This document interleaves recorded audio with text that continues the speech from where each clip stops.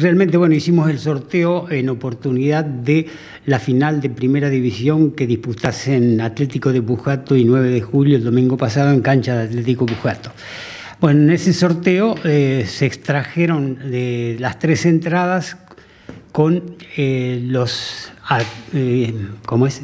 hinchas que fueron a la cancha y llenaron los cupones. Cada uno de ellos que fueron sorteados se hicieron acreedores a una moto, que fue el primer premio, un aire acondicionado y un televisor smart.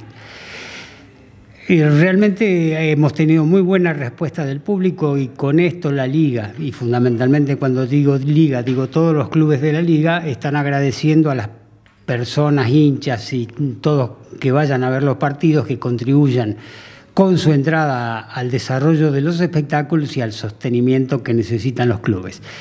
Bueno, esperamos que ellos, eh, los que han sido espectadores de esta final, lo hayan pasado bien, que hayan, eh, de acuerdo a sus expectativas, hayan tenido eh, un buen espectáculo, los que son hinchas, los que no lo son, los que ganaron, los que perdieron, en fin, para todos ellos y para la gente que beneficia a las instituciones y por su parte a la liga, nosotros y con el aval, por supuesto, de los clubes, les hemos entregado, cosa que también hicimos a mitad de año en la primera eh, parte del, torneo nuestro, eh, la entrega de moto, aire acondicionado y televisor.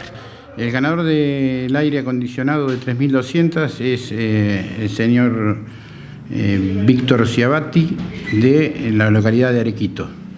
Eh, el premio del Smart de 49 pulgadas es la señora Natalia Suchetti de la localidad de Los Molinos y el ganador de la moto Corben 125 es Martín Duero de la localidad también de Arequito.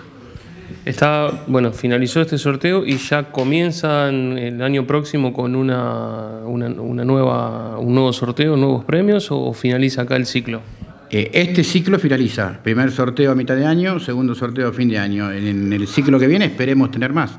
Eso ya es decisión de más de los clubes, pero se va a proponer y veremos qué podemos sortear, cómo está la situación para ver qué, qué se puede ir mejorando.